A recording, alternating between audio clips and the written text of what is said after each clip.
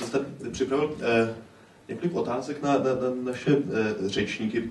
Mě napadá, eh, k příkladu, Karolína tady, tady zmiňovala, eh, že v té brožuře je potvrzovaná ta poměrně častá výtka, že Řecko, eh, Řecko se dostalo do, do eurozóny na základě sfalšovaných údajů, ale eh, v, v, v té době se nikdo proti tomu neozýval.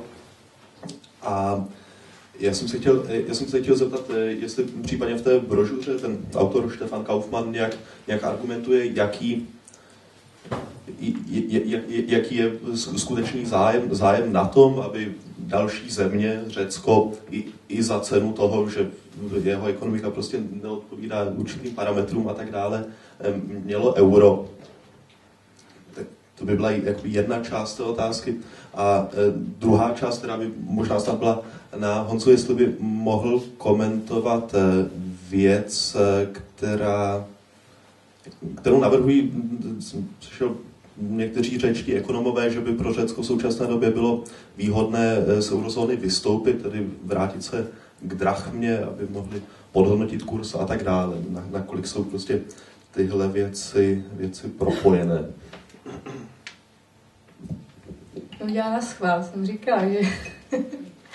no tak uh, tam se o tom uh, právě dost píše, že by se Řecko vrátilo k drachmě. Ale v tom smyslu, že uh, by to nebylo úplně výhodné, protože ta měna by následně silně devalvovala. Takže jestli o tom chceš vědět víc, přečti si kupse a přečti si brožuru.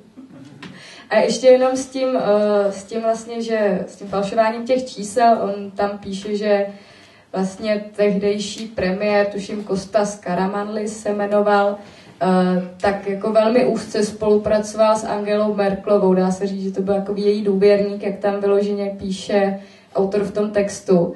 Takže s těmi falšovanými čísly ono to asi taky nebude tak jednoduché, jak se většině tvrdí. Oni spolu velmi úzce spolupracovali a velmi šel na ruku, jak jsem se tam dočetla. Tak více tam. Dobrá, dobrá, tam silný se hlásí, prosím. Já jenom eh, k tomu bych chtěl ještě dodat, eh, já si teď nevybavím ten zdroj, ale četl jsem to v rozhovoru s nějakým eh, řeckým politikem, který mluvil o tom, už o tomhle problému, když Řecko se dostávalo do Evropské unie, ne, nejenom k euru, a už tehdy vlastně, nebo tehdy nesplňovalo všechny ty požadavky, a on říkal, že to bylo kvůli tomu, že to bylo vlastně po eh, skončení té diktatury, těch plukovnické, a že Evropa eh, tím vlastně chtěla přitáhnout Řecko, ta západní, eh, do svojí sféry, protože tam bylo velké nebezpečí, že levice, která vlastně byla v opozici proti té chuntě, že by mohla získat příliš velký vliv. Takže vlastně oni je sanovali tím, že vstoupili do Evropské unie a měli zdroje že, z těch strukturálních fondů a tak dál, aby vlastně udělali ten gulášový kapitalismus, který tu levici e, nějakým způsobem oslabí. Takže to si myslím, že mož, možná podobné důvody hrály roli při tom přijetí eura.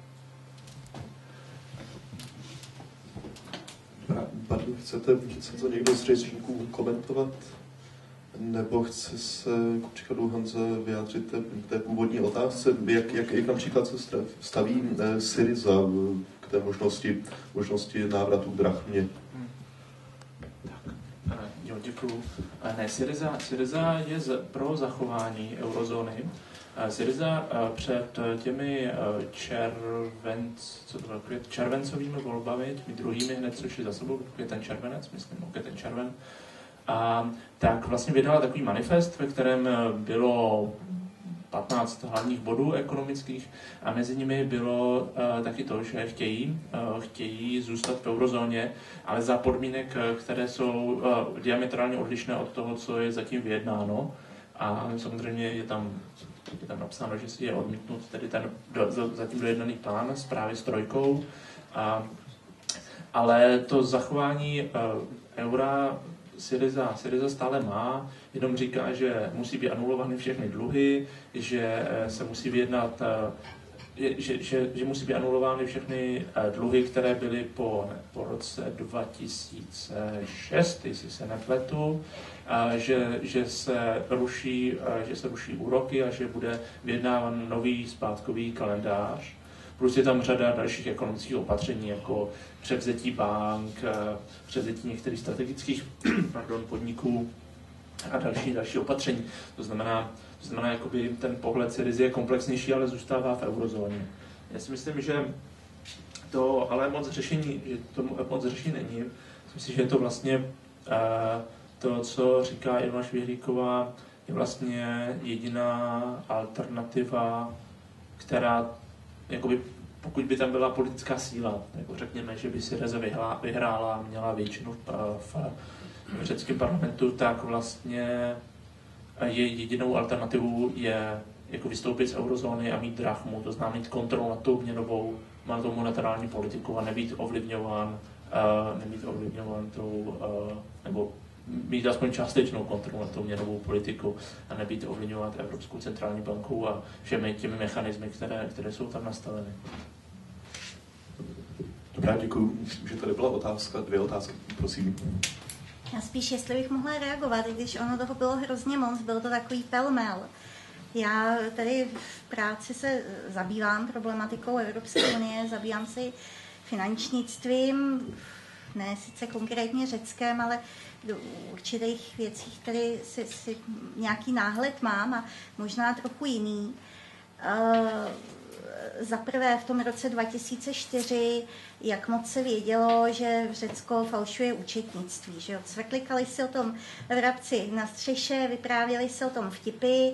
Samozřejmě nikdo nevěděl, jak moc je to účetnictví sfalšované, ale zejména byla ta politická vůle to Řecko do té eh, Evropské měnové unie vzít a dokonce vzít ho tam s tím silně nadhodnoceným kurzem, který třeba já osobně považuji za jeden ze silných a v té dnešní debatě zatím nepříliš doceněných eh, důvodů té krize, ve které se to Řecko dneska uh, nachází. Uh, jak správně zmínil tam pan za mnou, i v do, už v době, kdy Řecko mělo vstupovat do Evropské unie, tak Evropská komise vydala zprávu, kde nedoporučila jeho přijetí s tím, že Řecko nesplňuje podmínky přijetí.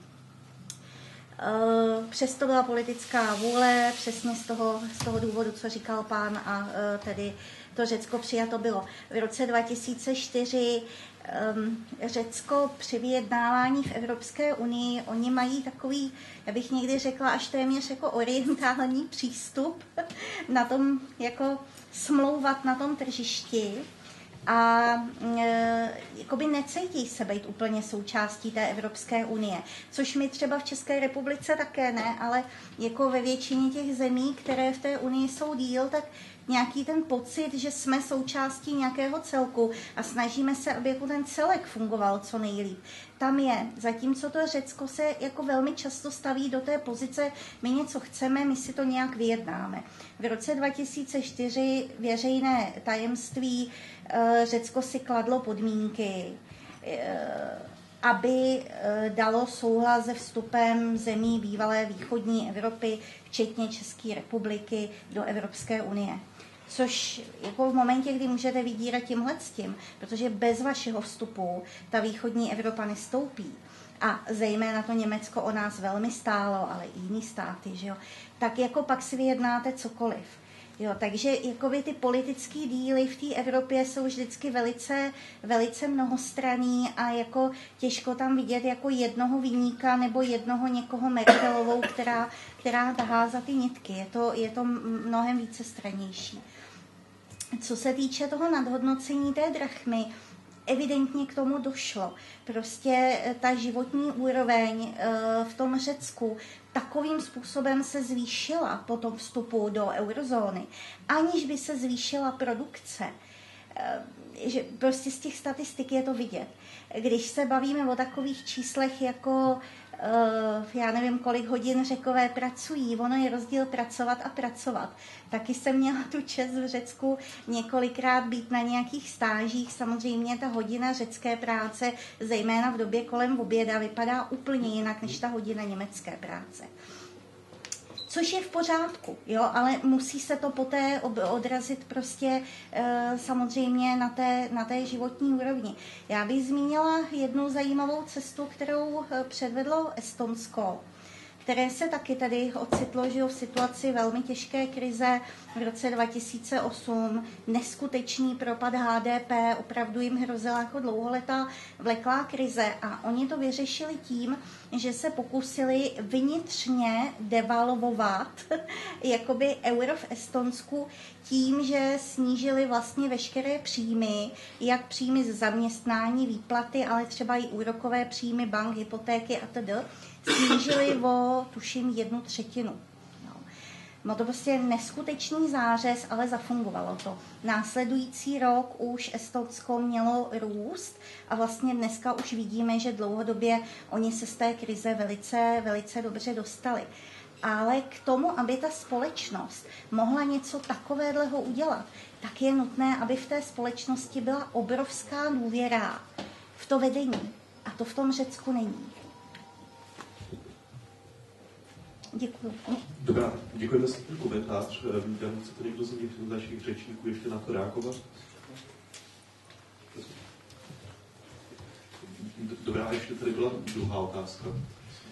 tak já bych, já, dobrý den, Pavel Novák. Já bych měl dvě takové krátké otázky. Jednak, jestli v té brožuře je jako hodně tematizovány ty další důvody, proč ta krize vypukla, což je enormní zbrojení například. Podle teda mého názoru i podle toho, co se hodně píše protože Řecko prostě na své poměry neskutečně zbrojilo a součástí toho zbrojení byl například nákup německých ponorek a dalších úžasných věcí z Německa na úvěry z německých bank. Si kupovali německé výrobky, které absolutně nepotřebovali na nic, jenom proto, aby Němci měli větší uh, jakoby, možnosti prodávat a exportovat. To je zase ten německý zázrak viděný trošku z jiné, jinou optikou. A potom samozřejmě je to otázka daní, kdy se z Řecka stal takový jakýsi daňový ráj, podobně jako z České republiky, daňový ráj pro bohaté. Že? Protože bohatí prostě neplatili daně. Dnes údajně leží 200 až 300 miliard euro v, jenom v Londýně nebo mimo Řecko na účtech, které se neproduktivně tam leží a prostě kupují si za ně byty a věci v Londýně, místo aby je tedy investovali nějak v Řecku a e, pomohli řecké ekonomice. Takže jestli to je v té brožuře, a druhá věc je taková provokativní otázka, jestli se vám nezdá, jak tady naše pravicová vláda a pravicoví ekonomové strašili řeckou cestou, jestli právě ta pravicová vláda tu řeckou cestu nenastoupila, protože nedůvěra k institucím, korupce, eh, daňové ráje, extrémní množství podnikatelů. V Řecku mají zhruba tolik podnikatelů jako u nás, což je na Evropu výrazně vysoká úroveň, tak, tak takzvaných podnikatelů, je to často švart systém a podobně. Že jo. To samé máte právě ten export do daňových rájů těch peněz. Všechny jako věci, které se v Řecku děly, včetně možná i toho falšování těch, eh, te, te, těch ekonomických čísel, když to snad nebude tak hrozné, tak eh, je jakoby v Česku podobné jako v tom Řecku. Takže jestli, to jsem hlavně chtěl se zeptat, bohužel, aktivistky, jestli nevidí jakoby takhle zvenku ty paralely, že se eh, ženeme stejným způsobem. A jenom, jestli můžu malinký komentář tomu Estonsku, tam se obávám, že oni sice jakoby vypadají na první pohled úspěšně a mají růsty, ale otázka je, jak vevnitř té společnosti se ty, ten nově vytvořené bohatství dělí. Protože v Estonsku roste chudoba, velké množství lidí si stěžuje, mladí lidé utíkají a stávají se Eh, servírkami, eh, pomocnými dělníky a prostitutkami ve, ve Skandinávii, v tom zlém eh, levicovém sociálním státu a v Estonsku stárne populace díky tomu, hlavně teda v Lotyšsku, ale i v Estonsku. Takže také to o dvou rukách, ale, ale jakoby je to cesta možná lepší než některé jiné cesty, ale nevím, jestli úplně tak dobrá, jak jste zmínila. Ale to nechci tady rozpoutávat debatu, spíš bych se zeptal tady na ty otázky kolegů řečníků. Tak já bych teda se zahla tu první jenom krátce to zbrojení, ano, je to tam zmiňované určitě, uh, ne nějak dlouze, spíš opravdu taková jako zmínka, ale je to tam. Ale jinak jako ono, ono to není jako příliš teoretické a nějaké jako kladení otázek, spíš je to opravdu hodně založeno na té analýze jako dat a statistik. Jako. Takže tam se vyloženě jakoby dočtete, uh, proč je, když tam má, já nevím, s tím, že jsou líní a prostě vždycky se tam vyvrací nějaká te, ta teze, tak je to vždycky podložené těmi daty. Tak jako, není to tolik jako teoreticky rozpracované, jakoby, co by kdyby, co by byla lepší možnost a podobně. Ale jako o tomhle se tam zmiňuje, ale jako docela jako na asi třech řádcích, jako rozhodně to tam není nějak jako rozváděno víc. A na máju bych asi teda dal tu druhou část otázky. Řecká cesta v Česku. No, samozřejmě, řecká cesta, eh, řecká cesta v Česku je eh, nastolena, kráčíme hrdě vpřed. A, a to má obojí, takže to je samozřejmě dobře i špatně zároveň, aby dialektika dějin byla zachována, bylo to napětí kreativní, tak, a, tak špatně je to samozřejmě v tom, že se kopírují ty nejhorší příklady, jako je prostě podvazování růstu, škrtání, snižování životní úrovně. Na druhou stranu to prostě budí e, určitý odpor a dává to dává to podnět k vytváření nějakých obraných organizací, jako lidi se dávají dohromady, že pro ALD vznikl a vznikl Alternativa z dola a vznikly spoustu dalších iniciativ a Soudoboury se začal spolupracovat a je to je zase jako, to má nějakou, to má nějakou šťávu taky. A samozřejmě je to vždycky, je to vždycky ta jako hra s otevřeným koncem, jako ještě nevíme, že jestli to dopadne dobře, i v tom Řecku nevíme, jestli to dopadne dobře, tak taky tam může zlatý úsvit vyhrát a budeme všichni plakat a můžeme mít novou vládu černých plukovníků a všichni budou říkat, no ale jako víte co, stabilizovali zemi a je to v pořádku, konec konců a finanční instituce jsou spokojeny. No. Jo, tak, tak doví, doví, jak, jak to může být. Já si myslím, že to je hodně nepravděpodobný scénář, ale, ale kdo by před pěti, šesti lety jako řekl, že, že to Řecko se stane takovýmhle, takovouhle laboratoří Evropy, co se týče eh, toho neoliberálního vládnutí a, a vlastně odporu proti němu. Tak, no, a v Čechách je v pohodě, v Čechách budeme mít eh, za rok super, super volební rok, takže tam to, to, nás čeká, to nás čeká určitě hodně zajímavé období, kdy třeba se dočkáme vlády sociální demokracie, tak eh, to si prožijeme potom tu, tu depresi, kterou zažili lidi z Pasoku. A Pasok byl úplně geniální, totiž při ve volbách, tyjo, ale abych se úplně nesekl, 2004, 6 a kandidoval, Pasok měl hlavní volební heslo socialismus nebo barbarství. A říkal, a prostě proti tomu, té recesi musíme takhle a, a finance a budeme podporovat a tak. No a tři dny po volbách se vstoupil do vlády s novou demokracií a řekl, no, úsporná opatření, trojka má pravdu, musíme to podepsat. Jo, jo, takový, jo takže, takže takový veletoč. Doví, jestli nás nečeká něco podobného. A, tak, se týče daně, na kterou se ptal Pavel, a, tak ano, tam daňová soustava je strašná. A zajímavý hnutí, které tam je, je uh, hnutí, které odmítá platit daně. Ale na rozdíl od kontextu českého, kdybychom to čekali spíš na nějaké jakoby ultraliberální pravici, že takový všichni ti svobodní a tak, a daň, eh, den daňové svobody, už nebudeme zlý stát eh, pla, eh, financovat. Tak v Řecku je to vlastně jako levicová iniciativa. V Řecku jakoby říkají, tak ten stát na nás posílá tu policii a prostě nám nic neposkytuje v podstatě tak eh, je nesmysl, že jo, jako přispívat a má, a to je zbytečně velká armáda, ze který se to platí, to je taky nesmysl a financovat, to znamená, je to kontextuálně, je to prostě levicová iniciativa. Tak. A což, je, což je vlastně zvláštní oproti, oproti České republice. A pak ještě jedna poznámka k produktivitě práce. Po, aspoň podle statistik eh, Eurostatu mají řekové vyšší produktivitu práce než Němci což je zvláštní a jim to ten rozdíl dělá hlavně struktura průmyslu, protože oni mají prostě a, a, Atény, Solun, ještě pár několik jako měst a tam je nějaký průmysl, pak je hodně a, e, turistického průmyslu a pak je houby. Pak jsou ty ostrovy a to znamená, že, že samozřejmě ta struktura té země je úplně jiná a těžko čekat i z vyšší produktivitou práce takový hospodářský výkon, jako má průmyslové Německo. Je. A no, a to je asi zatím ode mě všechno. Dobrá, děkuji. Jsou ještě nějaké další otázky z publika? Tak to, ta vaše kolegyně, ta z toho, já ta už nevím to ta z toho Řecka, ale tak co ona tady vlastně v Česku jako dělá? Tady studuje nebo? nebo... studuje. Jo. jo. Co? Uh, studuje tady... Studuje, nějakou, nějakou, ano, něco spojeného s medicínou. Prostě nevybavuju úplně co. Nějakou zdravot, nějakou zdravotnické terapie, dělá masáže. Mám ty náklady do sebe. Dobrá, nějaké další otázky? Já, jsem, já právě jsem si říkal, já jsem to pochopil tak, že to je nějaká vůdkyně nějakého hnutí tam jako myslím. Ona je aktivní. Ona je aktivní uh, na Krétě. Tam uh, i na Krétě je hnutí, že uh, to a takže i na Krétě jsou lidi aktivní. Třeba Kréta, řecký, to všichni známe, že jo, tam jezdíme na dovolenou na Krétu, je takový hezký pohodový ostrovek. No a na Krétě vyhrála Syriza například, jako drtivě.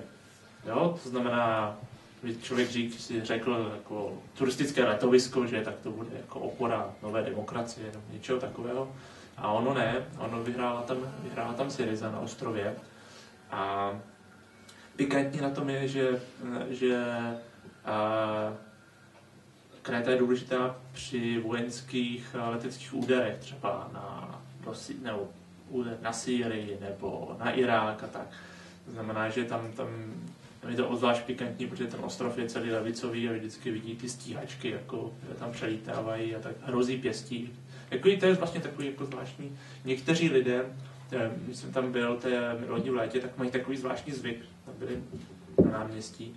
A když přilít, zrovna přilítávala nějaká, to bylo asi nákladní, protože to letělo pomalu, a, tak, tak hrozily pěstí. Tak to je takové jako kulturně, to takové moc, moc pěkné, vidíte vojenské letadlo a takové hrozí, že, no, výborně, krásná země.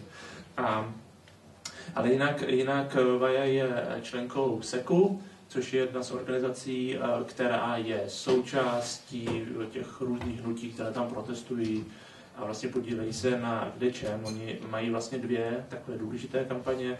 Jedna je proti těm eh, škrtům, proti těm úsporným opatřením, a druhá je proti rasismu, protože protože eh, jak je Kréta levicová, tak místní pobočka Zlatého úsvitu, těch neonacistů, je tam spojená s mafií. To znamená, že mají, mají bohužel výzbroj, jako střelné zbraně a takové věci. že není jako není od věci dávat si pozor na těch protirasistických demonstracích, protože jako tam je to hodně, hodně ostré.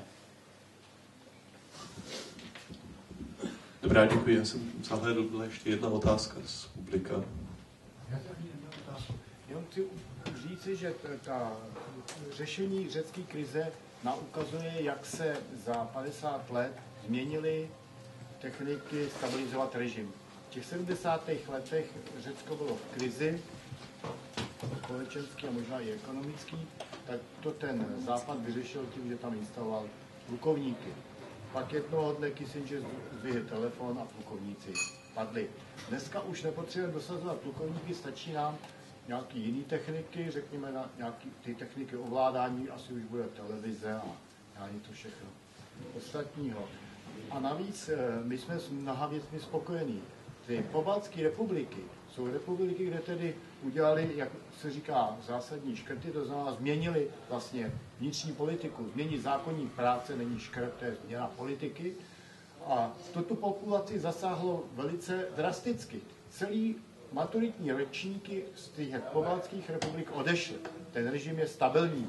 Ekonomii si to pochvaluje, protože tam se nic neodehrává, nikdo tam nestávkuje. No a k té Krétě bych chtěl říct jenom takovou pikantnost. Na Krétě, když se, když se skočili němečtí parašutisti, mezi nimi jeden slavný německý boxer, tak ty Kréťani, ty parašutisty, kteří naskákali do těch olivových hájů, odřezali. Takže tam bylo plno vypálených vesnic jako v Lidicích a ty Kréťani jsou od té doby jak vítr. Dobrá, děkuji. Případně chce někdo komentovat řečníky? Ano, já bych se zeptala, co všechno to znamená pro Českou republiku. A Honza Majček mi odpoví. Protože už možná odpověděl. Doufejte. Děkuji za důvěru. A, no, pro Českou republiku to znamená mnohé. A, znamená to, že na tom nejsme ještě tak špatně, a jak bychom mohli, mohli být.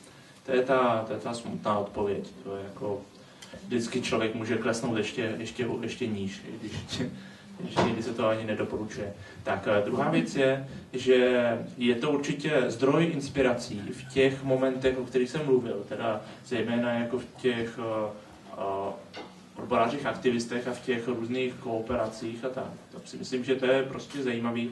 A je to takový dobrý argument pro všechny ty lidi, kteří třeba by i něco lepšího chtěli, ale často říkají, a to nejde, protože jako lidská povaha, nebo to by se nikdy neudrželo.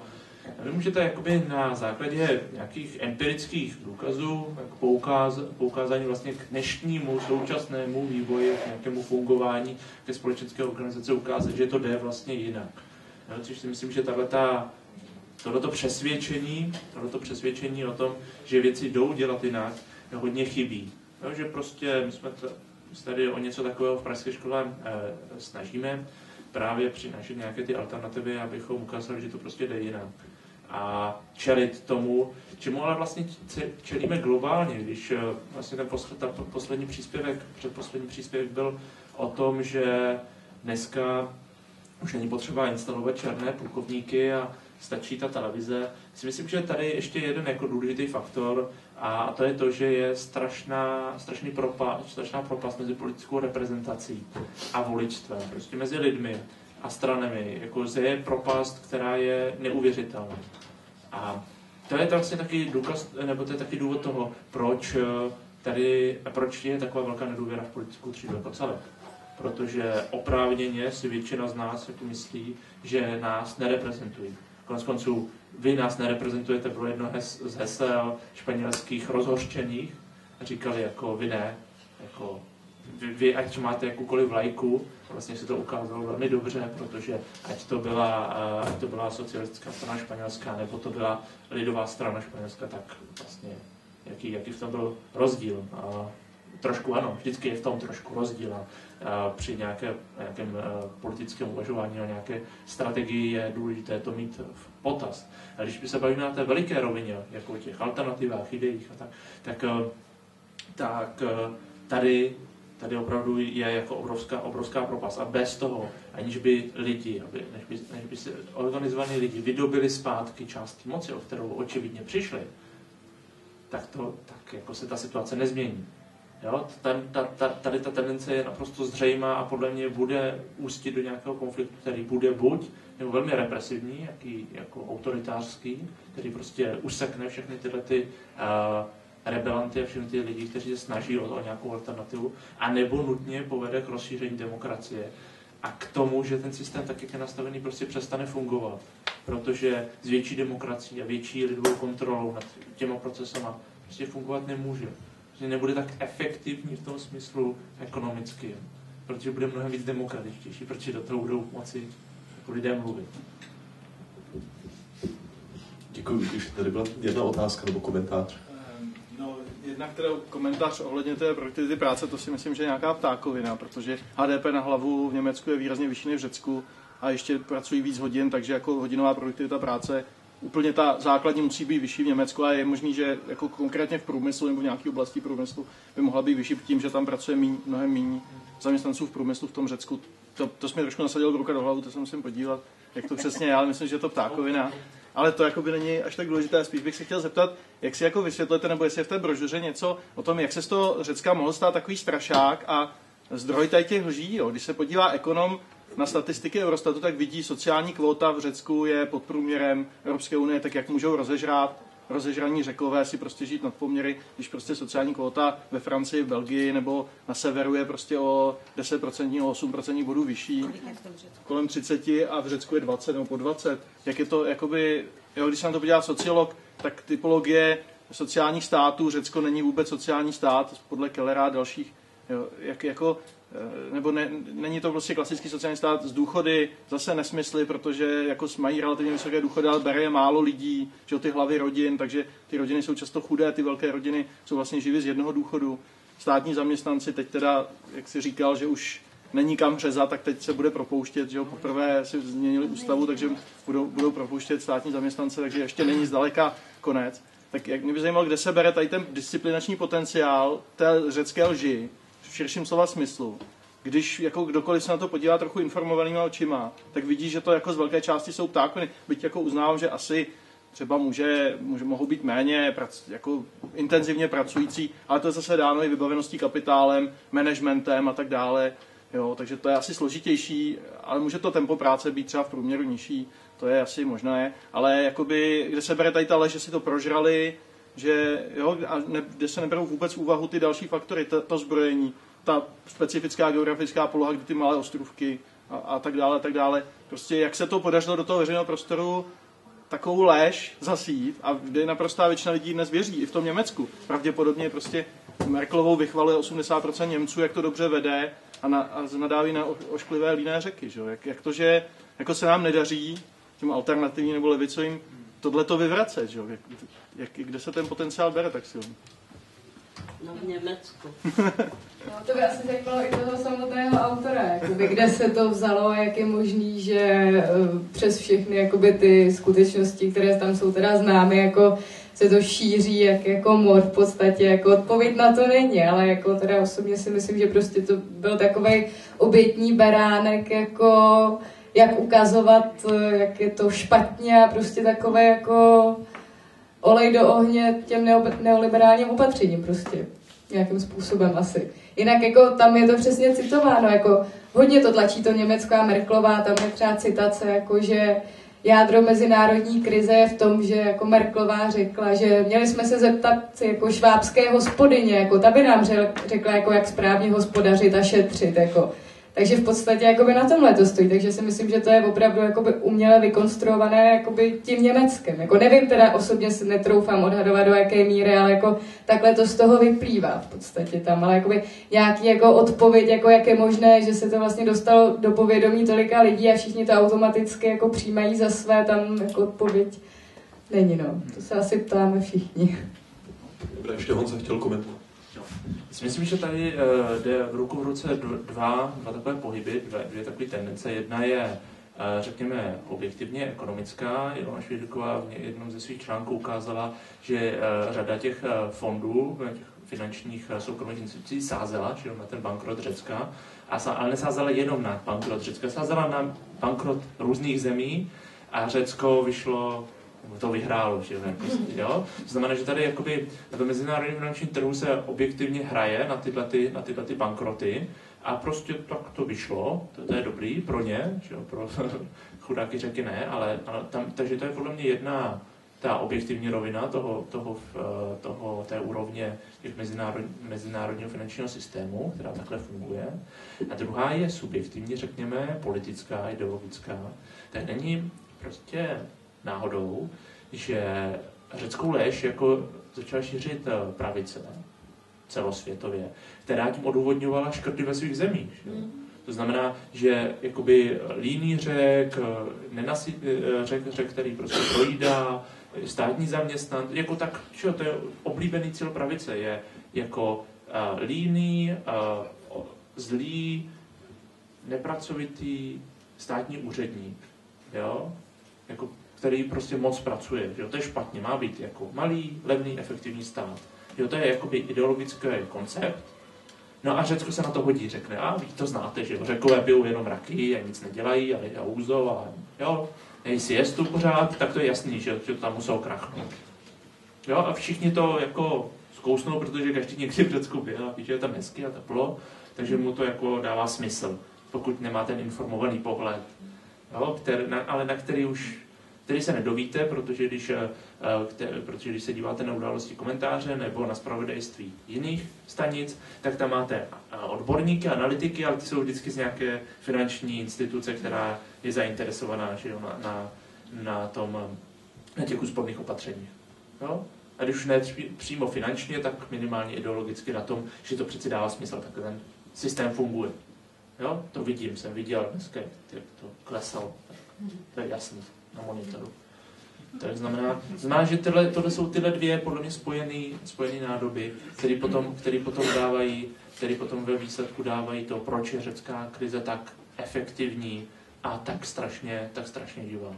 Byť jakoby ty fakta, jako, jak, jak se říká že facts on the ground, jako ta skutečnost prostě, tak, uh, tak je úplně jiná.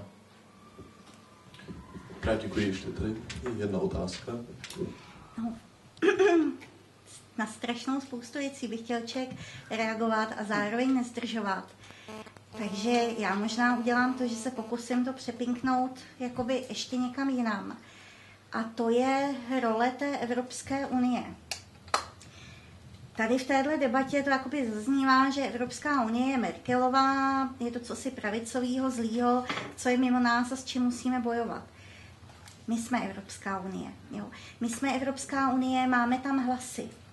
E, naše hlasy tam zastává naše vláda, e, plus námi volení poslanci Evropského parlamentu pokud vůbec se namáhají do toho Evropského parlamentu eh, docházet na jednání. Můžeme se podívat na netu a dozvíme se, kolik i z velmi populárních politiků se tam prostě vůbec namáhá chodit.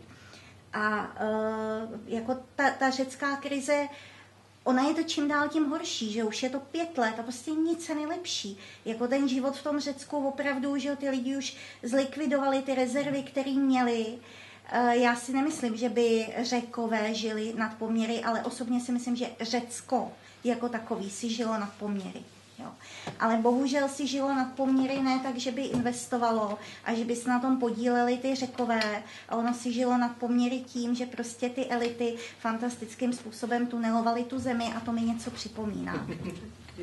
Ale zase vrátila bych se, vrátila bych se k té Evropské unii ta Evropská unie byla založená na myšlence, že teda tady vznikne jeden nějaký hospodářský prostor, jedna ekonomika, no což ale samozřejmě za situace, kdy tam mám státy, které jsou bohatší a rozvinutější a státy, které jsou chudší a méně rozvinutý, tak to může mít dvě polohy.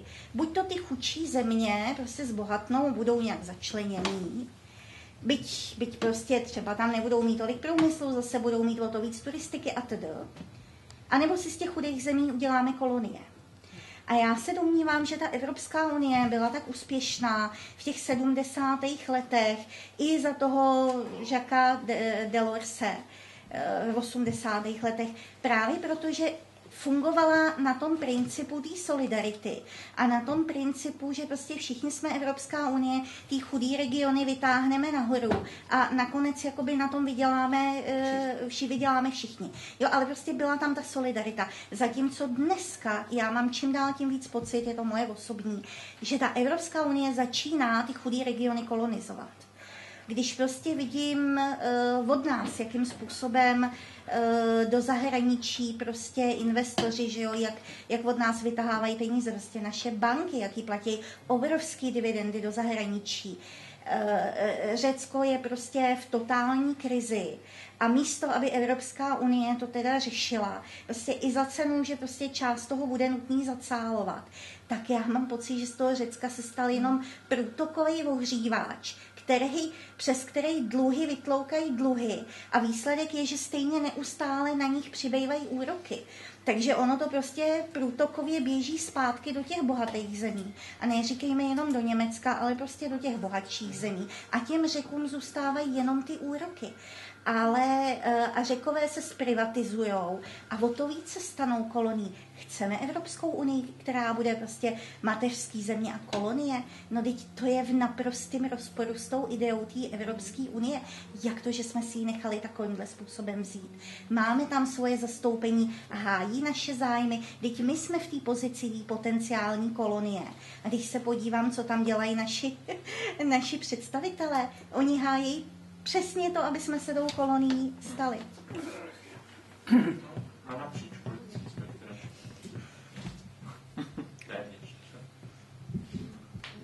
Chcete nějak obširný komentář do střečníků?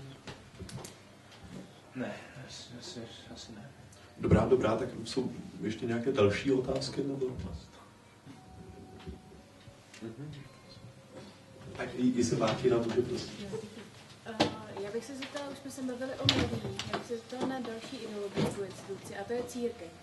Jaká je, jaký je vlastně vztah církve, jak se staví vůči těm protestům, které tam jsou a jak třeba se staví i vůči tomu, že tam dochází jako k absolutní destrukci vlastně jakékoliv společenské solidarity, třeba vůči tomu státu nebo třeba té stá, toho sociálního státu, o kterém se tady no, pořád mluví, že vlastně Řecku. Takže jestli, jestli tam třeba nějakým způsobem reflektují i tohle.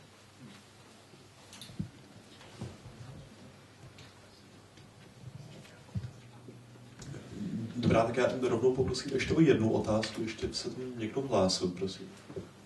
Ano, prosím. Já jsem chtěl říct to eh, s tou Evropskou unii z 70. a 80. letech a jak je to dneska, no, tam je obrovský rozdíl ve dvou věcech. Za první dneska máme velké množství ekonomů. A jakmile se lidi rvou mezi sebou, no ne, jako to je skutečně enormní nárůst. A druhá věc je, že v podstatě obrovské množství počítačových programů je čistě ekonomický. Jo, to, to jsou to, že se tomu říká finanční nástroje, tak to jsou lidi, kteří prostě si dělají na zakázku tyhle ty věci, aby se mezi sebou mohli rvát. Jo, a to jako nevede k ničemu dobrýmu. Že? Když těch, dokud těch ekonomů bylo málo vzhledem k populaci, tak to bylo dobrý. Že? Dneska, když se podíváte na Ameriku, tak tam se říká, že je jeden právník na 200 lidí. Jo, tak se tam taky podívejte potom, co ty firmy, že se říká, teď já nevím, jak se jmenuje takový ten známý milionář, uh, já nevím, jak má, jak koupil jeden z těch basketbalových týmů, já si teďka nepamatuju, jak se jmenuje, tak tam prostě oni říkají, že většina firm nemůže mít ekonomii už jako uh, v těch jako vedoucího té firmy, ale musí tam mít právníka. Právě díky tomu, že, že v Americe už ty právníci vlastně převyšují počty těch ekonomů, tak eh, a rvou se mezi sebou a dávají se, v podstatě se dávají eh, žaloby úplně na ty firmy jenom tak prostě naslepo, aby se vidělo, co ta firma odpoví na nějakou žalobu a vy díky tomu potom na ně můžete dát přesnější žalobu, že jo. jo tak jenom kvůli tomu z tomu se dávají, eh, ta firma si musí dát jako svého hlavního CEO nebo někoho takového právníka, už si tam nemůže dát ekonoma. Tak to je jenom k tomu, že Evropská unie se před 20-30 lety chovala jako solidární, jo, tak to prostě, že jo, s nárůstem těchhle z těch lidí nejde. Jo, a druhá věc je, k tomu Řecku jsem se chtěl jenom zeptat, jestli je nějaká statistika, kolik Řeků se dostalo uh, letos nebo v předchozích letech do Německa. Protože jsem někde slyšel, že, Němec, že do Německa přišlo asi v minulém roce asi milion přistěhovalců, nevím kolik bylo řeckých nebo půl milionu možná přistěhovalců, tak to mě jenom zajímalo, jestli má někdo přesnější číslo.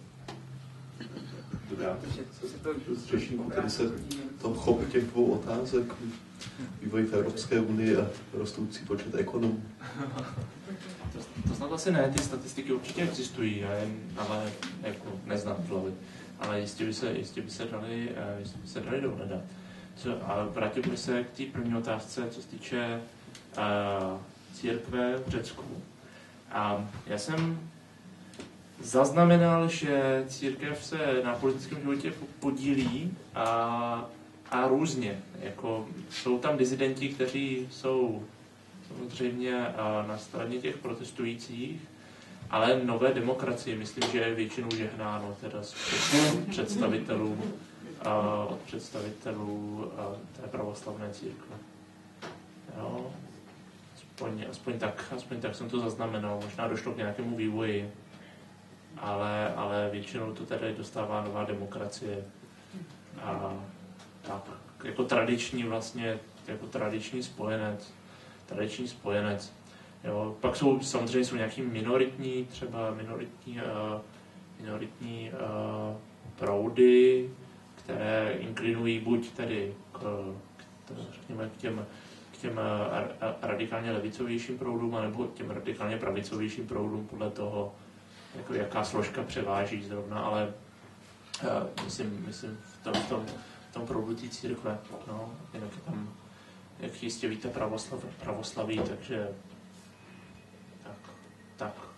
Já bohužel o tom nevím vůbec nic víc, ně, nějaký, jako, že bych eh, nějaký zajímavý projev, třeba ten, něčeho takového, to ne jestli, jestli třeba poskytují azyl demonstrantům nebo tak.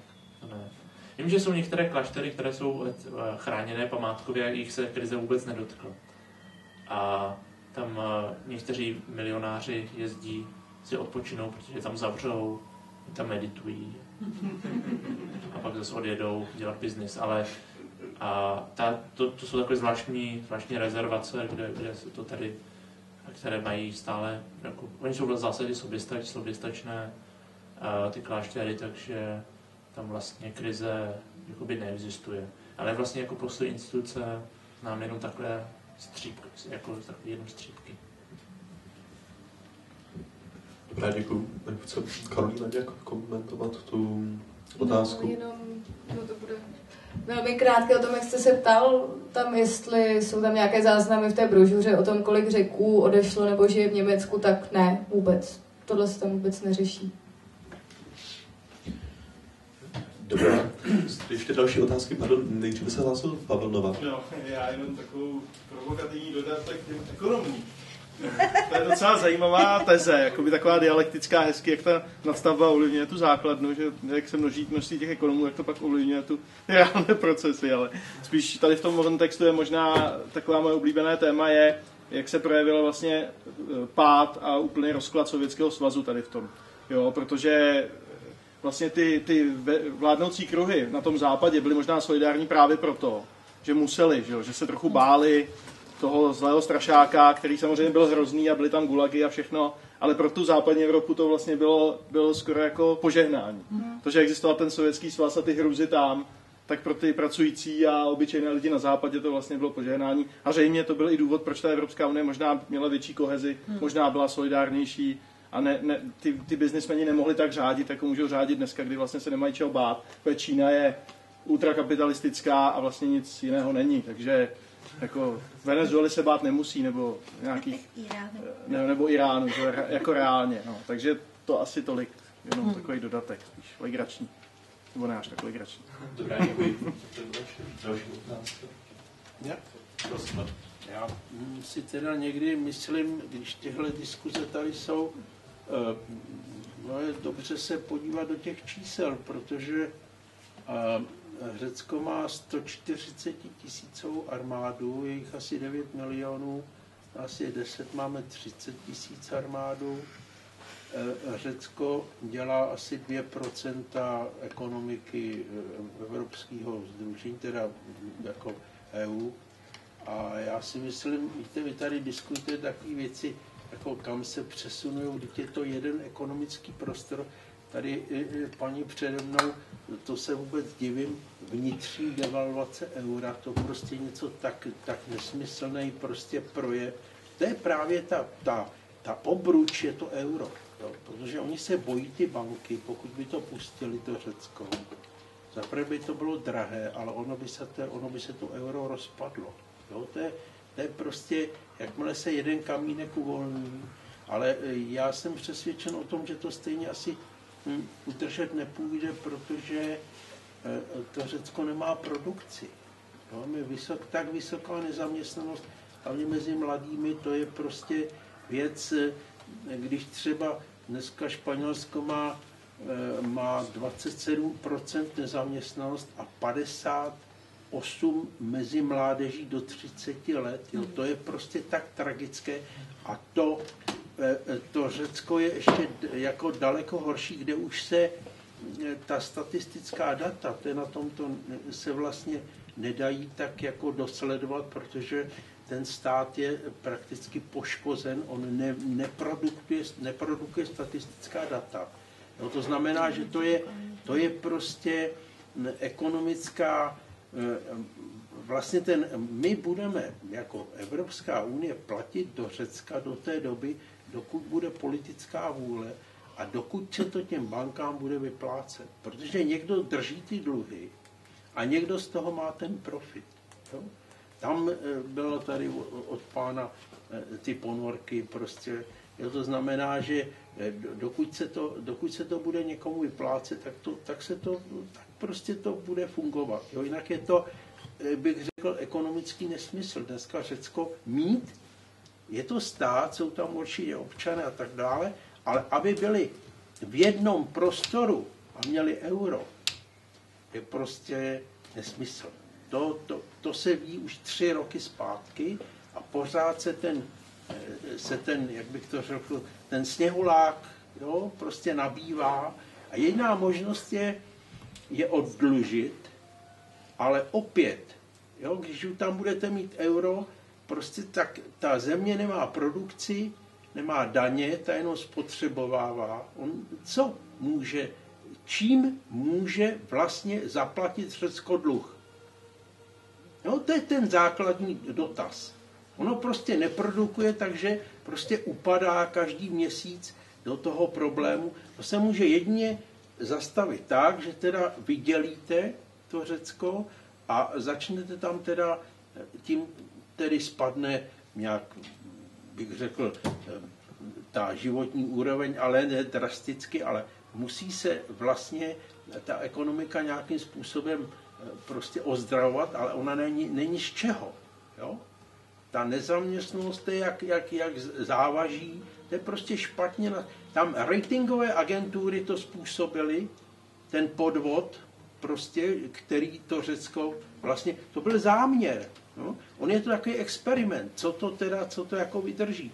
A ty ratingové agentury jsou vlastně hlavně zámořská věc, jo? Čili, čili ono to byla takový, já tady nechci nějaké konspirační teorie, prostě, ale prostě Řecko je malér a uměle, uměle vytvořený, jo? protože kdy, když, teda, když, to někdo, když to někdo vedl, jo, tak věděl, kam prostě, kam, to, kam se to řítí. Jo. Taky ještě řeknu naposled krásnou věc, když ty demonstranti chytili eh, vedle parlamentu bývalého eh, ministra financí, tak ho zbyli tak, že kdyby ho nezachránila policie, tak ho zabili. Jo? Čili tak to vypadá Řecko. Krát, chce někdo z řečníků reagovat na otázku? To. Dobrá, tak když tak, prosím. Dobrá, tak já, já, já pokusím ještě o následující, následující otázku, jsem hlásila. Já si myslím, že jako jeden z důvodů, proč ta Evropská unie v těch 70. 80. letech jako fungovala víc jako Evropa občanů a nejenom prostě Evropa kapitálu nebo kapitalistů. Tak já si myslím, že vedle toho, co tady zaznělo, jo, co je určitě pravda, prostě ten, ta konkurence toho komunistického bloku, kde nějaká solidarita jako, jako fungovala. Jo? My jsme neměli Větnam jako kolonii. Ale mm, myslím si, že to i bylo tím, že ty občany té Evropské unie na to tlačili, že se zajímali, co se děje a že na to tlačili a že byli slyšet. Já když jedu do Bruselu na jednání, nebo když jsme byli český předsednictví, tam to bylo nádherně vidět, prostě lobovali firmy, firmy, firmy, 90%, pak přišlo jednou nějaký združení na ochranu spotřebitelů, super, díky bohu, aspoň jednou pohled z druhé strany, a nikdo jiný. Jo. A jak to, že jak to, že prostě uh, tam vůbec nemá zastoupení ty uh, občani. My jsme vůbec neslyšeli, co chtějí ty občani těch členských států. Já to můžu tušit z toho, co vím, co se děje u nás. Ale jejich zájmy tam neprosazuje nikdo. Na, jako logicky. Uh, potom, když jakoby tam nejsme slyšet, no tak tam se něco peče bez nás. My pak tady máme že jo, naší prohnilou elitu, ze kterou se snažíme že jo, nějak bojovat, tunelování a kde co. Tlačíme z jedné strany. Oni to mají prostě krásně posichrovaný, posichrovaný ze zhora, že jo, pak se řekne, no už to schválil Brusel, už se s tím nejně, stejně nedá nic dělat. Takže e, já si myslím, že opravdu po tom pádu komunismu ti, ti lidé na západě, Byl oni to si... komunismus. Dobře. Po té pádu toho východního nebo sovětského bloku, ty lidi na tom západě si jakoby nechali vzít ten, ten, veřejný, eh, ten veřejný prostor, ten vliv na ty záležitosti veřejný. No a my jsme ho nikdy, nikdy nezískali. Jo, my jsme si ho nikdy, nikdy o něj neřekli důležitý asi je, pardon, říct, že Řecko je problém Evropské unie, která je teďka úplně odhalená. Práce odešla z Evropské unie a nebude. Řecko je jenom takový, bych řekl, ten vřet, který to jako rozkotá celé. To, a to, to euro prostě nebude moc takhle být utrženo. Španělsko, Francie, Irsko, Portugalsko, Itálie je problematická. A to jsou veliký země. To Řecko se může ještě, jako bych řekl, politicky ho držet. Jo? oni tam se budou bouřit a tak dále. Je to malý stát, ale až tohle to prostě přeroste, to je neudržitelné. Děkuji. No jasně, já si myslím, že my se tady vlastně pomalinku, ale jistě dostáváme jednak k tématu, které bude předmětem té přes příští, to znamená k, k zelenému kapitalismu, to jsou ty zelené technologie, jestli nám můžou nebo nemůžou pomoci. A, a jednak se vlastně dostáváme k tématu, že samozřejmě jako na příkladu Řecka řešíme nějaký symptom, jako velký systémový krize, to je pravda je, jako dneska je to tak, že díky těm eh, čas, eh, úsporným technologiím, které máme, se prostě vytrácí nutnost tolik pracovat, respektive, že vzniká obrovská, že klasická logika toho systému je taková, že generuje nezaměstnanost díky tomu. Jo, prostě místo toho, aby zaměstnával 10 lidí, může zaměstnat jenom 3, skvělý, že jo, systém funguje, protože se snižují náklady a všechno, všechno funguje. Bohužel se generuje ta nezaměstnanost, která jakoby není ekonomicky eh, započítávaná, respektive je až druhotně, to znamená, až stát musí vyplácet ty podpory v té nezaměstnanosti. To znamená, že eh, úplně racionální by bylo samozřejmě jakoby zkrátit pracovní dobu, aby, aby lidi mohli pracovat a nemuseli pracovat 8 hodin, ale třeba 4 hodiny a další 4 hodiny mohli číst nebo jít na ryby, nebo co je bude bavit. A tak to je pravda. To, se, to samozřejmě je, je fakt. A pokud eh, opravdu explodují ty další země, o kterých, o kterých byla zmínka, je to bude obrovský otřes pro, pro celou eurozónu, protože to bude neudržitelné. To znamená, a, a nebych, to je, to je jedna věc. Druhá věc je, a to je zase optimistická trošku, a myslím, že je tady petice za uh, Evropskou občanskou iniciativu taky, a, což, je, což je taková, takové hnutí, které a, chce vytvořit podmínky, aby občané mohli si na evropské úrovni prosazovat a, své požadavky. Takže ta petice se dá tamhle podepsat na stolku, takže kdo, kdo chce začít ten proces nahlodávat taky jako na, na té celoevropské úrovni, tak samozřejmě může připojit svůj podpis. A což je, určitě, což je určitě dobře a svědčí to podle mě o tom, o čem jsem už mluvil, že my opravdu a to není jako případ České republiky nebo bývalé východní Evropy, ale je to problém prostě globální, že my nemáme jako politickou reprezentaci, která by byla spjatá s požadavky a potřebami těch lidí.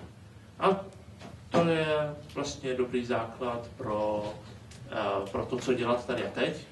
To znamená začít budovat něco takového, co by mohlo být takovou politickou reprezentací, která by byla zakořeněna v v občanské společnosti a věděla, co ty lidi chtějí a dokázala to reprezentovat. Dobrá, děkuji. Jsou ještě nějaké další otázky? Možná ještě číslo. Tak, tak číslo, prosím. E, e, e, Řekové měli důchod asi 1400, 1500 euro, museli ho stáhnout asi na 1200, no, hrozně řvali ale vlastně na Řecko třeba doplácí, doplácí v eurovalu Slovensko, kde je průměrný důchod 370 euro. Jo. A to jsou, rozumíte, kde je ta solidarita? Rozumíte tomu, to je, ta Evropská unie se tady úplně potácí, ta je úplně vlastně vykloubená, to, tohle to je špatně. A jediná možnost je asi spíš se dostat zpátky přes ten Lisabon a a e, e, udělat ji znova. Jo? To znamená ji postavit Evropskou unii na jiných, na jiných základech. A otázka je, jestli to, jestli to je politicky zvládnutelné, že to prostě, že to ty banky a ty, tahle, ta, tahle ta parta to prostě vlastně dotlačí do toho konfliktu, který pro ně je prostě asi zase nějaký žně prostě to je, to je skoro neřešitelné. Rozumíte, že vlastně já, já na těch číslech dokládám, že eh, občané Evropské unie vlastně platí do Řecka solidární prostě příspěvek a sami mají čtyřikrát menší důchod. To prostě to nemůže fungovat. Můžu já jenom k těm důchodům, jako uh, tam, co se zase píše v té brožuře, tak uh, tam je, že mají důchod méně než 600 euro na měsíc. Nevím teda, jako kde je to s těma 12 sty, ale jako píše se tam, že oni jako s tím sotva vyžívají a rozhodně je to teda méně než 600 euro. Teďka, tak jenom takhle přesnění. Já jsem slyšel Sulíka, to je, to je eh, pán, který, jo, eh, Slovák, kde teda ten eh, jako v německé televizi, pač on mi krásně Německo tam žil, tak perfektně tyhle čísla mám tam odsud, jo, kde tam prostě vyskakoval, jak je to, proč oni mají, když tam taky na, na základě, na Slovensku padla vláda kvůli tomu, jo, že teda nechtěli platit že, že tam, jo, čili já teda nevím, 600 euro, nevím, jestli se to, já to teď nedokážu postihnout, ale fakt je, že eh, v Řecku se asi za 600 euro žít nedá, až tam ty nájmy a tak dále, to asi nebude úplně v pořádku číslo. Jo. No, já jsem právě k těm důchodům, to je taková hrozně takový evergreen, tam je právě složitá ta věc to vůbec zjistit to číslo, jo. Protože obecně se tyhle ty 12, 14, to se vyskytuje, ale tam je problém v tom, že jenom určitá část lidí bere ten důchod. Takže záleží na co ho rozpočítáte, ten průměr, jo. Takže ono, když je rozpočítáno na všechny lidi v tom seniorském věku, tak je to těch 600 až 700, ale právě protože berou ty hlavy rodin, tak oni třeba berou těch 1400, ale zživí z toho vlastně tu manželku, většinou je to manželka, která bohužel nedostává nic podle toho systému. To je trochu podobně jako v Německu, kde to taky nastaveno jinak na ty hlavy rodin a třeba ty ženy. Potom teď tam byly rozhodnutí ústavního soudu, že jo, který jako rozhodl, že ženy, které nepracovaly, protože měly hodně dětí, ale tak se vlastně zasloužili o to Německo a mají právo na vyšší důchod, než by měli podle toho systému. Taková složitá věc, ale prostě obecně bych spíš jakoby věřil to hodnotě 600 až 700, která jakoby vyplývá, byť jako je pravda, že těch 14 tam lidi berou, ale záleží, jak to rozpočítáte. A eh, k tomu Sulíkovi to bych jako pokládal za zdroj velice neoliberálního, člo, jo, to by se stavil trošku s, re, s rezervou. No. A ještě jenom k tomu Řecku, já bych se trošku chtěl zastat, co jste říkal, jako naprosto většinou se to dá souhlasit, ale je tu otázka třeba toho, co produkují, neprodukují. Ono, dneska kdo co produkuje, že jo? Prostě e, většina ekonomik produkuje služby, jakési různé, které jejich ocenění je problematické v třeba mezinárodním obchodě. A Řecko jako není v tom ojediněle, že třeba Británie, tak si vemte, tam se mluví o e, ztrátě industrializace, to byla kdysi přední industriální země, největší vlastně výrobce všeho a dneska produkuje finanční služby a, a různé podivnosti a spekulace na, v city, že jo? Takže jakoby celá ta ekonomika je jakoby trošku postavená na hlavě a ta práce prostě je jinde. Jo, v Bangladeši třeba, jak jsme teď viděli. Já se ještě odkážu na, na předtím, co jsem říkal, Dobrá, protože jenom jednoduše, že ta statistická data už z toho státu, ten je v takovém hmm. rozvalu, že nedostanete dobrý data. Jo. Hmm. To, je, to, je, to je další problém. Dobře, děkuji. Ještě, ještě eh, Karolina chtěla se to vyjadřovat. No jenom tak, bys, by to nevypadalo, že jsem si to vycucala z prstu, tak já vám tady kousek ocituju. Přesně z kapitolky Platíme řekům luxusní důchody. Tady se píše, že podle OECD odchází muži v Německu do důchodu průměrně v 61,5 letech, v Řecku je to 61,9. V žádném případě se tedy nejedná o luxusní důchody. Řecký průměrný důchod činí 55% průměru eurozóny. V roce 2007 už se pohyboval okolo 617 eura a nyní teda dvě třetiny řeckých důchodců vycházejí s méně než 600 euro měsíčně. Ještě s tím, že v těch jižních zemích, jako je Řecko, Španělsko, Portugalsko, se odchází do důchodu vlastně později než v Německu. Tak jenom takhle s těmi daty jenom. Dobrá, dobrá, je tady, tady ta, jak bylo zmiňována otázka rozpočítání těch důchodů z hlav rodin na, na ostatním případě. Dobrá, ještě jedna otázka. Myslím, že je úplně jedno, jestli je v Řecku průměrný důchod 1200 euro nebo 600 euro. Ale ten princip je, že přece tu pomoc těm chudým zemím nemají platit země, které jsou podobně chudší nebo v mnoha ohledech ještě chudší ale že by jí měli primárně platit ty bohatý. To má být solidarita bohatých s chudejma. Jo. Tohle přesně se stalo, když my jsme vstupovali do Evropské unie, že vlastně řada fondů evropských se jakoby rozdělila na ty nově vstupující země a jakože na to jádro. A vlastně to dopadlo tak, že jakoby rozvoj, eh, já nevím, Rumunska, Bulharska, jako by mělo platit v Česko a nikoli v Německo a Švédsko. To je, jo, zrovna tak je prostě absurdní, aby řecký problémy sanovalo takovým poměrem Slovensko. Tam prostě nejvíc mají platit ty bohatý. O tom má být ta solidarita. E, jinak to prostě fungovat nemůže jako jeden hospodářský prostor.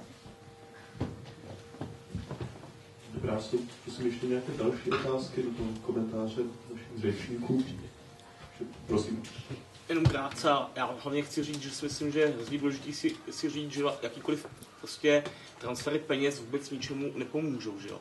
Za prvé teda jako jde o to, kam jdou jako ty peníze a vidíme, to už se tady řeklo, že se s nima platí vlastně ty, ty, ty uh, jakoby úroky, nebo ty, jakoby, jde to do těch bank, prostě nejde to na to, aby se Řecku hmm. pomohlo. Tady jde hlavně taky o to, ale se podívat i, i jako jinam, když to, když byly takovéhle transfery, jako byly, jak ty modely byly úspěšní, jo, já nechci jako to nějak uh, rozpitvávat, ale prostě když bylo Československo, tak třeba ty transfery peněz z toho Česka na to Slovensko jako byly úspěšní v, tom, v těch výsledcích. Ale třeba když se podíváme, když se sjednocovalo Německo, tak byly naprosto neúspěšní. Prostě tam se nateklo obrovské množství peněz, ale ničemu to nepomohlo. V čem to je? Kde, kde je ta jakoby věc? Kde, kde se to láme? Je to prostě podle mě v tom, do čeho ty peníze skutečně jdou a jestli jdou do investic, jestli na to něco postaví a buduje, anebo jestli ne. A prostě tady, tady je prostě, myslím, ta hlavní otázka toho, že to Řecko prostě strukturálně jako kapitalistická ekonomika slabá. Vždycky to byla periferie Evropy, i té Evropské unie, zejména teda ještě předtím, než přistoupily ty nové země, tak bylo i jako vlastně geograficky odříznuté úplně od toho zbytku, jakoby toho, toho prostoru. A opravdu tam byl hlavní problém ten, že se stejně jako mnoho jiných zemí, tedy toho jihu, ale třeba i v Irsku, investovalo hlavně do nemovitostí a do turismu.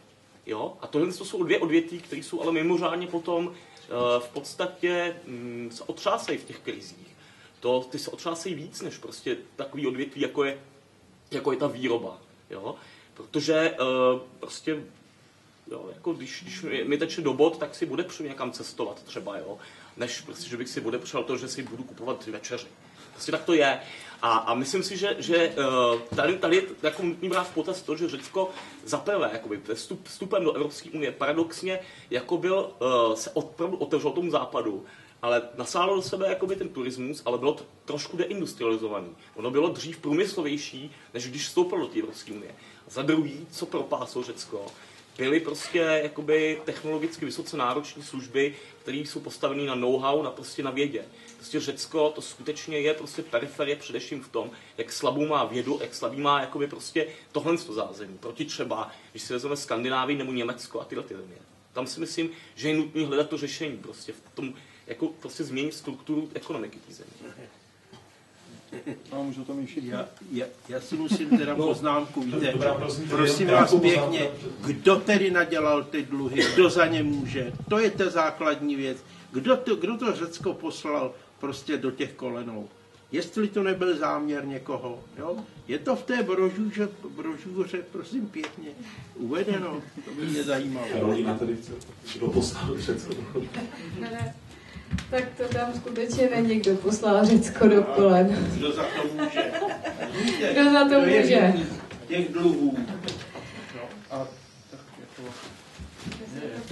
Jo, jenom ta brožura bohužel nemůže zodpovědět všechny otázky. Ta se zejména soustředí na ty a, a rozšířené argumenty té, té řecké lži, no, tak se snaží a ukázat, v čem jsou, v čem nejsou platné a, ty názory.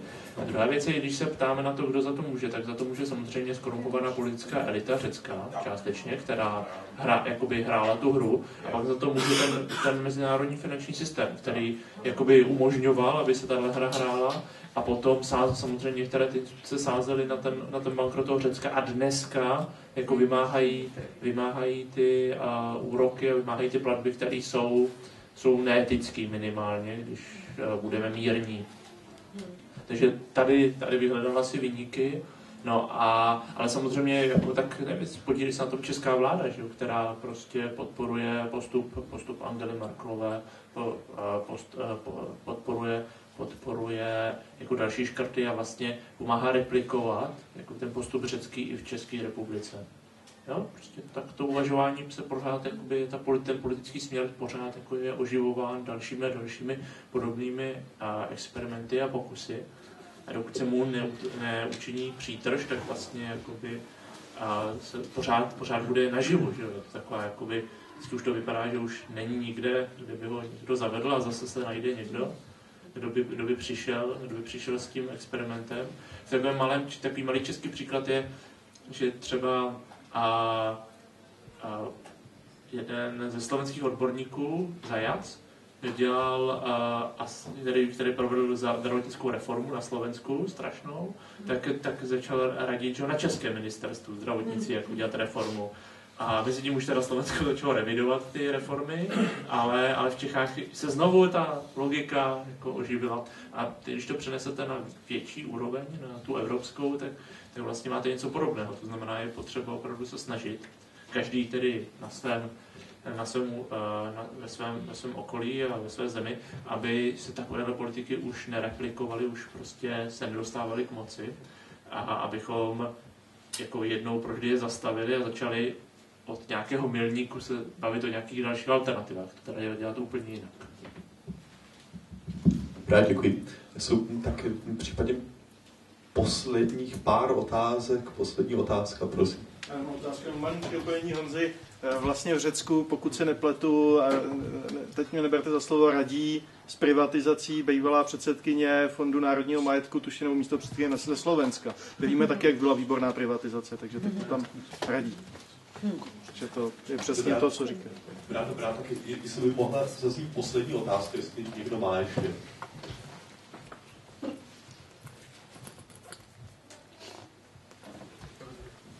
Dobrá, to prosím, Vítek. Tak jestli nikdo nic nemá, tak já bych se ještě jednou zeptal, pochopil, pochopil jsem to správně, že v Řecku nedostávají důchod ženy, že dostávají ne. důchod jenom muži, nebo jenom hlavy rodin, nebo jak to bylo, já jsem to úplně nepochopil, jak to, že se důchod přepočítává na hlavy rodin, nebo jak to je ne, to, ne tak úplně, jako že by nedostávali ženy důchod, ale prostě ty velký důchody dostávají jakoby lidi, nebo ty muži, kteří pracovali a jako by byli ty živitelé a ty ženy byly třeba často ještě v minulosti v domácnosti nebo v nějakých ne, jo, pracovali, že jo, ale ne v té formální ekonomice a tudíž nemají třeba nárok na důchod, nebo mají velmi nízký důchod a proto, když se to jako zprůměruje, hmm. tak ty vysokánské důchody se rozpočítají nebo nedostávají právě žádný, nejsou jako v tom systému vůbec, protože třeba byly podnikatelky nebo jo, prodávali ve stánku nebo v domácnosti a tudíž nedostávají nic.